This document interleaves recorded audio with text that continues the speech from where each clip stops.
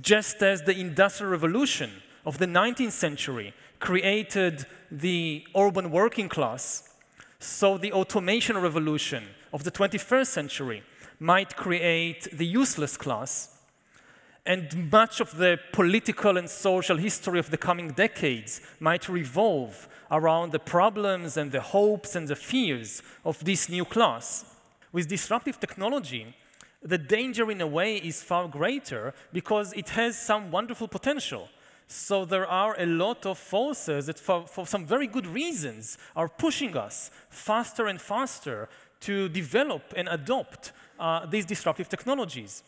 And it's very difficult to know in advance what the consequences will be. They might very soon reach the point when they create systems, they create algorithms that understand us better than we understand ourselves. And you won't even understand that this is happening, then liberal democracy will become an emotional puppet show. This is the kind of threat that we are already beginning to see emerging today. Now, in the coming years, in the coming decades, we will face individual discrimination and it might actually be based on a good assessment of who you are. You will not be able to do anything or almost anything about this discrimination, first of all, because it's just you. They don't discriminate against you or me because you're Jewish or gay or black or whatever, because you're you. And the worst thing is, there will be, it will be true. Now time is accelerating, so the long term is not 2,000 years or 200 years, the long term is 20 years. Nobody knows the basics about how the world would look like in 20 or 30 years, such as what the job market would look like, what kind of skills people will need, uh, what family structure would look like, what gender relations would look like. So it's really the first time in history when we have no idea. I think that politics and government in most of the world today, they are doing a far better job than ever before in running the day-to-day -day business of the, of the country.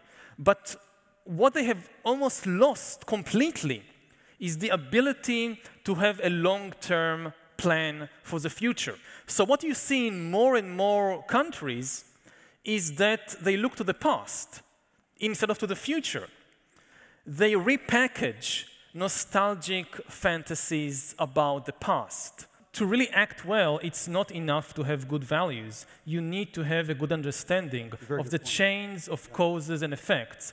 Like if you think about a commandment like don't steal.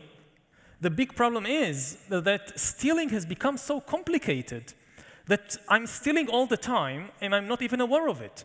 And even if I am aware, I don't know how the corporation makes its money.